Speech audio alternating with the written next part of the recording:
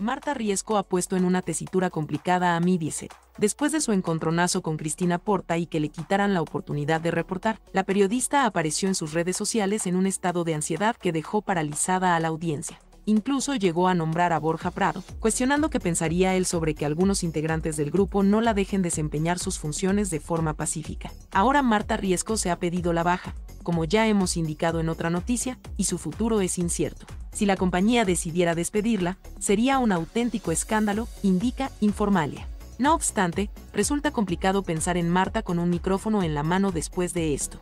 En este contexto, otra opción para que la novia de Antonio David Flores pueda desempeñarse de forma óptima en el campo laboral sería que se cambie de cadena, aunque para eso debería haber una oferta sobre la mesa que, por lo que se sabe hasta ahora, no existe. Podría ser un pedazo de fichaje para Sonsoles Ónega.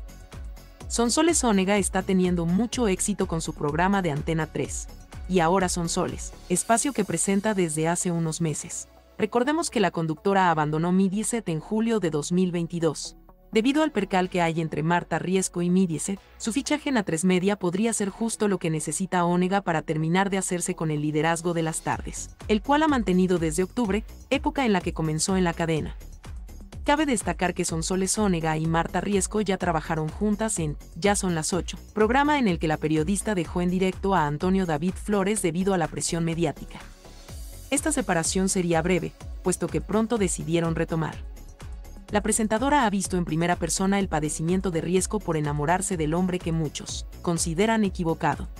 Pese a que Sonsoles ha parado el carro varias veces a Marta, puede que su ambición de ser la reina de las tardes sea más fuerte.